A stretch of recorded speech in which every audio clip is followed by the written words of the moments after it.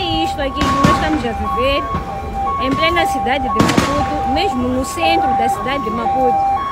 É isto aqui que dizem que é democracia no nosso país. Em plena zona central. Não deixam as pessoas andarem, não deixam as pessoas trabalharem. Estão a tirar bombas de gás, estão a tirar bombas de borracha. Partirem carros de pessoas, andarem a ameaçar pessoas. É isto aqui que chamam de democracia. Não deixam as pessoas marcharem em paz. Esta democracia que nós temos da Frelimo aqui no nosso país.